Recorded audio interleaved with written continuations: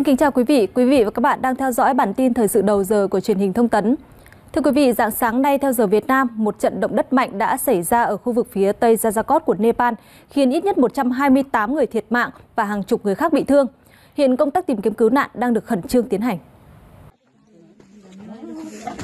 Trung tâm Địa chấn Quốc gia Nepal cho biết trận động đất có độ lớn 6,4 xảy ra ở huyện Jajakot, tỉnh Kanali vào lúc 23 giờ 47 phút ngày 3 tháng 11 theo giờ địa phương.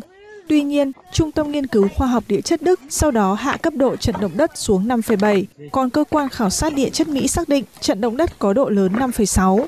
Trận động đất này cũng làm rung chuyển các tòa nhà ở thủ đô New Delhi của Ấn Độ, cách đó khoảng 800 km.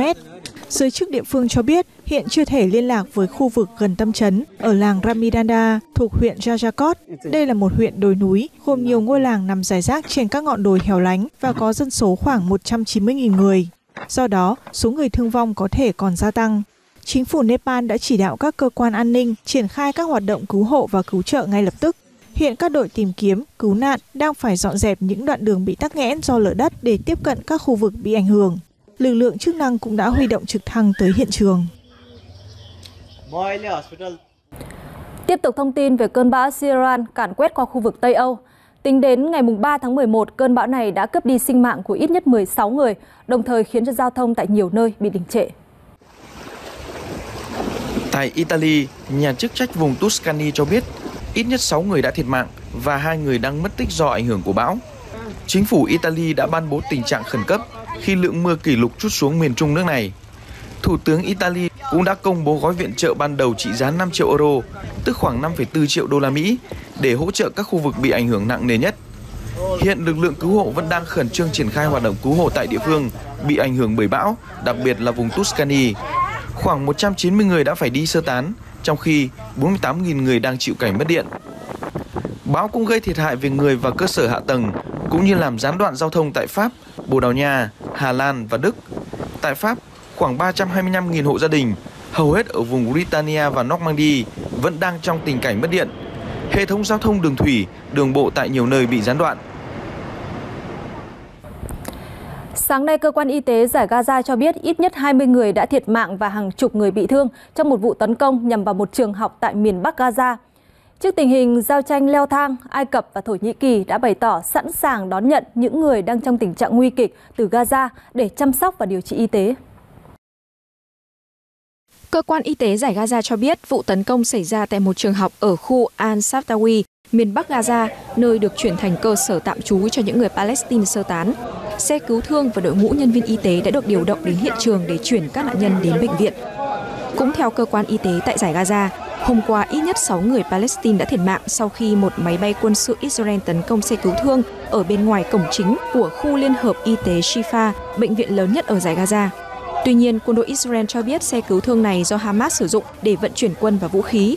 Theo nguồn tin này, vụ tấn công khiến một số thành viên Hamas thiệt mạng. Trong bối cảnh xung đột khiến nhiều người thương vong tại Gaza, Bộ Y tế Thổ Nhĩ Kỳ hôm qua tái khẳng định sẵn sàng tiếp nhận những người Palestine bị thương nặng từ giải Gaza tới nước này để điều trị. Trong khi đó, Ai Cập cũng cho biết sẽ tăng cường đưa viện trợ nhân đạo vào Gaza và tiếp nhận các bệnh nhân nguy kịch từ Gaza để điều trị y tế.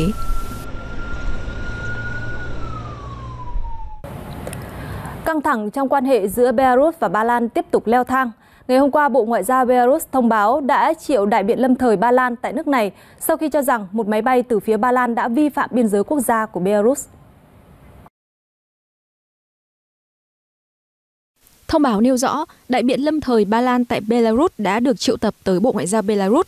Trong cuộc gặp, nhà ngoại giao Ba Lan đã được thông báo về sự phản đối mạnh mẽ liên quan tới việc một máy bay từ phía Ba Lan đã xâm phạm biên giới quốc gia Belarus ngày 2 tháng 11. Belarus yêu cầu điều tra kỹ lưỡng vụ việc này và áp dụng các biện pháp hiệu quả để ngăn chặn những trường hợp tương tự trong tương lai.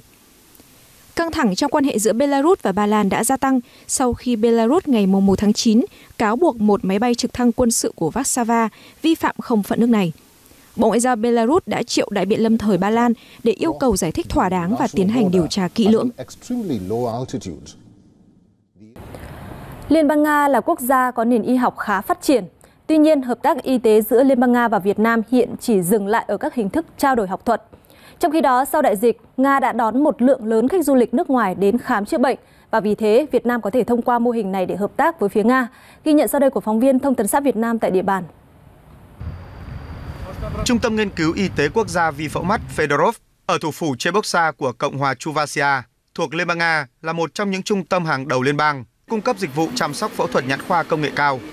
Trung tâm từng phát triển những công nghệ độc đáo như phát triển mống mắt nhân tạo, cây thấu kính nhân tạo có thấu kính khoa học có thể thay đổi cho trẻ em, hay công nghệ để điều trị các bệnh lý về dẫn ống lệ. Ngoài bệnh nhân trong nước, trung tâm cũng đang tiếp nhận bệnh nhân của các nước Trung Á đến đây điều trị. Hiện trung tâm thực hiện khoảng 600 ca phẫu thuật mắt mỗi tuần. Một số bệnh nhân Việt Nam đã tới đây vì công nghệ cấy mống mắt nhân tạo độc đáo của chúng tôi. Chúng tôi có công nghệ và chi phí phẫu thuật hợp lý. Chúng tôi cũng có những bác sĩ phẫu thuật xuất sắc. Dịch vụ đưa đón bệnh nhân tận nơi. Chúng tôi luôn tìm cách để khiến bệnh nhân cảm thấy thoải mái nhất có thể.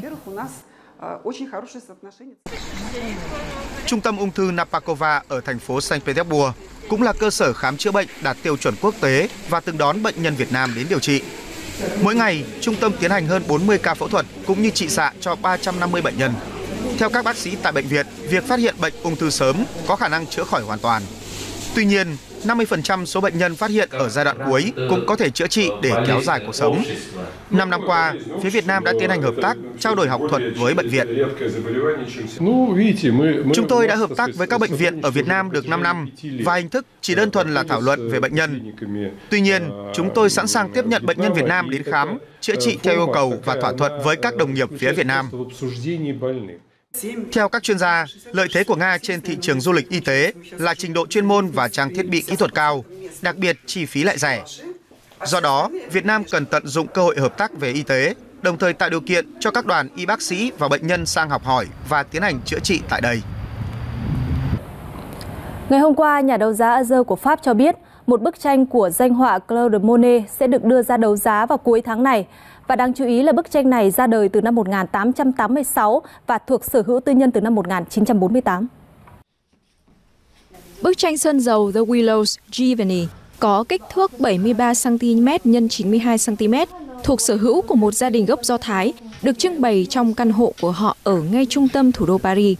Bức tranh phong cảnh này được mua từ một phòng trưng bày ở Nice vào năm 1948 và thuộc quyền sở hữu của gia đình kể từ đó.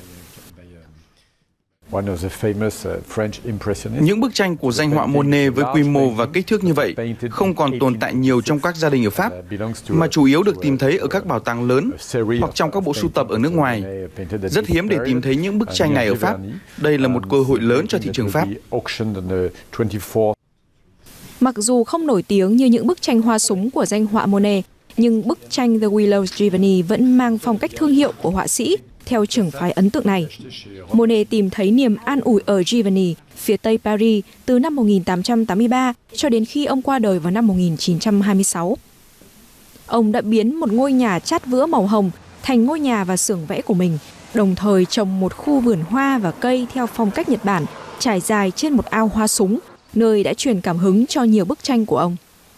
Nhà đấu giá Ader dự báo bức tranh sẽ thu về 3 triệu euro, tức hơn 3,2 triệu đô la Mỹ khi được đưa ra đấu giá vào ngày 24 tháng 11 tới. Trong phần cuối của bản tin là tiểu mục Thế giới hôm nay qua phần trình bày của biên tập viên Khánh Ly.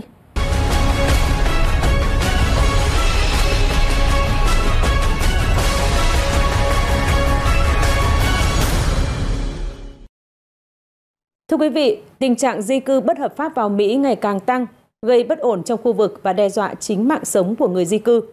Giải quyết gốc rễ vấn đề di cư trái phép luôn là bài toán khó đối với chính quyền xứ cờ hoa, Mexico và các nước trong khu vực.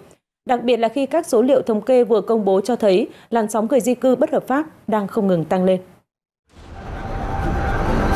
Dữ liệu mới công bố của Mỹ cho thấy các đặc vụ biên phòng đã thực hiện 2,05 triệu vụ bắt giữ trong năm tài chính liên bang kết thúc vào tháng 9 vừa qua. Năm thứ hai liên tiếp con số đó đã vượt qua 2 triệu. Trong khi đó, cơ quan hải quan và bảo vệ biên giới Mỹ ước tính có 2,4 triệu người di cư đã đến biên giới phía tây nam của đất nước trong tài khóa 2023, cao hơn tổng số của năm trước và chỉ một số ít trong số họ là đến được cửa khẩu biên giới hợp pháp, còn phần lớn lên đến hơn 2 triệu người đi theo con đường bất hợp pháp. Di cư đang là thách thức đòi hỏi chúng tôi phải nỗ lực gấp đôi để cải thiện tình hình. Tăng cường biện pháp thúc đẩy an ninh biên giới, giải quyết gốc rễ tình trạng di cư bất hợp pháp mà Mỹ đang phải đối mặt. Trước đây, hầu hết người di cư Mỹ là người độc thân trưởng thành đến từ Mexico đang tìm việc làm. Nếu bị lực lượng biên phòng bắt giữ, họ có thể bị trục xuất một cách dễ dàng và nhanh chóng. Giờ đây tỷ lệ gia tăng nhanh là do các gia đình có trẻ em, những người khó bị trục xuất về nước.